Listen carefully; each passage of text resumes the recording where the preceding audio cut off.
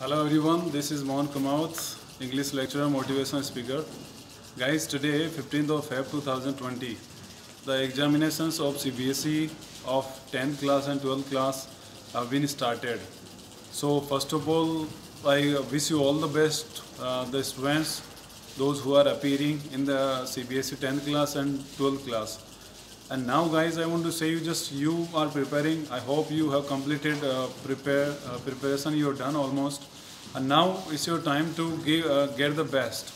So for this, what will be your strategy to get the marks to get the complete uh, GPA and CGPA?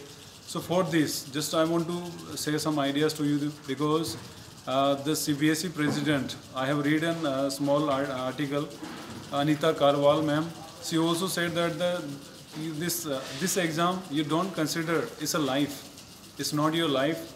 It's an exam only. Just you just take it with a mind, just not with your heart, and don't take it seriously.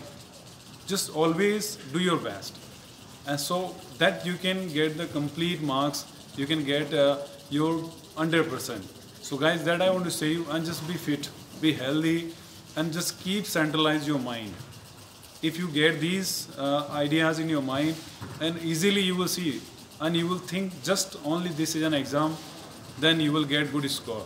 So just you get it and just keep learning and just keep studying harder and harder and get good marks. So wish you all the best one more, once more to all students those who are appearing in cbse 2020 examinations. So thank you. Jai hind vande mataram